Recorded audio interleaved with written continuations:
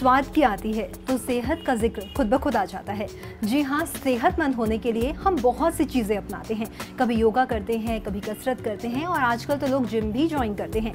तो आज बात कर रहे हैं एक ऐसे फेस्टिवल की, जिस पर सेहत का ध्यान रखना बहुत ज़रूरी हो जाता है। जी हाँ आज हम बात कर रहे हैं छठ पूजा की और उस पर एक खास रेसिपी बनती है, जिसे कहते हैं ठेकुआ। तो आइए मिलते हैं वीना जी से और जानते हैं कैसे बनती है ये खास रेसिपी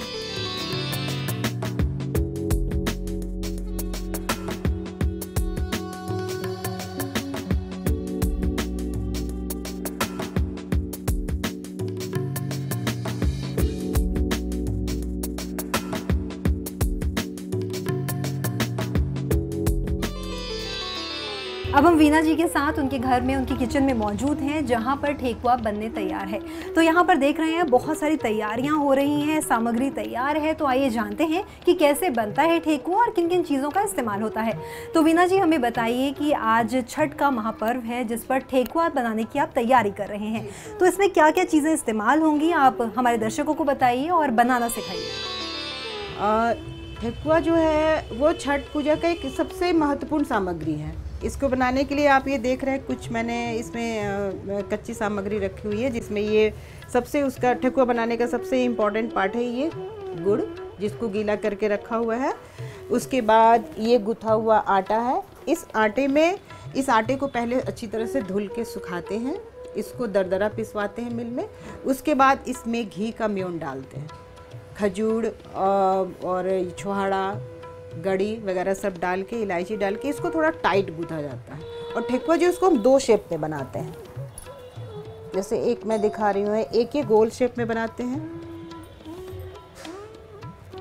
और इसको सांचे पे ऐसे डालते हैं। तो ये अपनी अपनी अपनी पसंद है। आप गोल भी बना सकते हैं इसको, लंबा भी बना सकते हैं। लंबे साइज़ में इस तरह से बनाते हैं, लंबा। इसको थोड़ा टाइट गूंथना पड़ता है। रोटी के आटे से ज़्यादा टाइट गूंथते हैं इसको। और इसमें दूध डालना ज़रूरी होता है। घी का मैन भी डालना ज़रूरी होता है। इस शेप में। ये जैसे कि मैंने बना रखा है, लंबे शेप में यहाँ बना रखा है। और गोल शेप में ये यहाँ पे है। और इसको हम लोग दो टाइम चढ़ाते हैं। अभी इसको खा नहीं सकते हैं। अभी तो ये पूजा होगी। आज अभी शाम में पूजा होगी, फिर सुबह पूजा होगी। और जितने ये आप सूप देख रहे हैं, सारे सूप पे कम से कम पाँच पाँच ठेकुआ हम रखते हैं। फिर अभी शाम में पूजा करने के बाद इसको बदल के फिर सुबह में फिर पाँच पाँच ठेकुआ रखें वीरा जी हमने सुना है कि इसके लिए बहुत सारी पौराणिक कथाएँ भी इस दिन के लिए मतलब हाँ हाँ हमारे जो भारतीय धार्मिक ग्रंथ हैं उन ग्रंथों में इस बात की चर्चा है कि ये छठ पूजा जो है ये हमारी खोई हुई समृद्धि को वापस लाने की शक्ति रखता है। इस व्रत को करने वाले जो कभी बहुत समृद्ध रहे अचानक ही वो गरीब हो गए या कोई शारीरिक कष्ट है तो अगर ये व्रत बहुत नियम से अगर करते हों तो उनको उनकी जो खोई हुई कीर्ति है जो उनकी संपत्ति है जो उनका स्वास्थ्य है वो सब फिर से वो पा सकते हैं।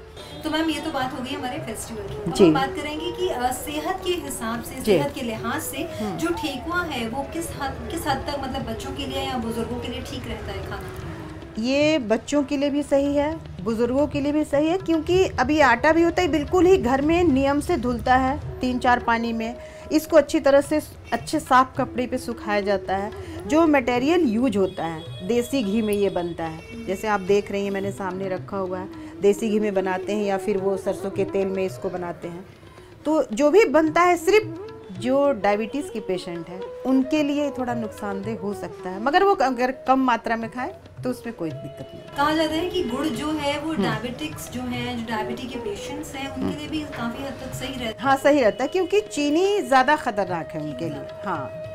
अगर गुड़ लें ऐसे भी जो लोग फैटी हैं उनको मशवरा दिया जाता है कि वो चीनी से बेहतर उनके लिए गुड़ है गुड़ यूज़ करें। तो हमें वीना जी ने बताया कि किस तरह से इसको शेप देकर बनाया जाता है। तो मैम हमें एक दो ठेकुआ थोड़ा सा बनाकर दिखाइए कि किस तरह से हाँ, हाँ. है। ये तेल के अंदर। जैसे कि मैंने बताया, कहीं कहीं पे लंबा शेप भी बनाते हैं, अपने पसंद का हर आदमी अपने अपने पसंद का कुछ भी खाता है या पहनता है। उस हिसाब से ठकुआ में भी इसे बहुत एक लकड़ी का सांचा होता है। कई बार लोग इसे हाथ से भी बनाते हैं। ये मैंने एक गोल शेप का बना रखा है। उसके लिए हम लोई गोल बनाएँगे। और आटा आप ये देख रहे हैं, मैंने काफ़ी टाइट गुथा है इसे।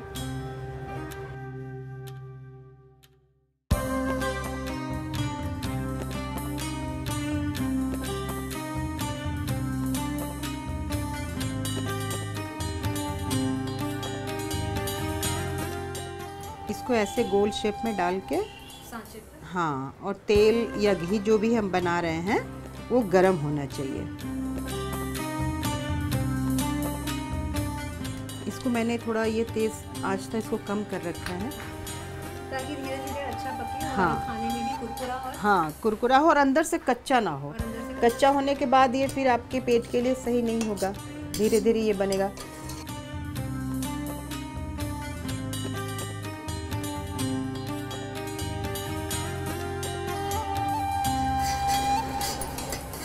ये पककर तैयार हो हाँ ये पक के तैयार है। ध्यान रखिए इसे सुनहरा होने तक पकाना पड़ता है ताकि ये अंदर से कच्चा ना रह जाए। हाँ।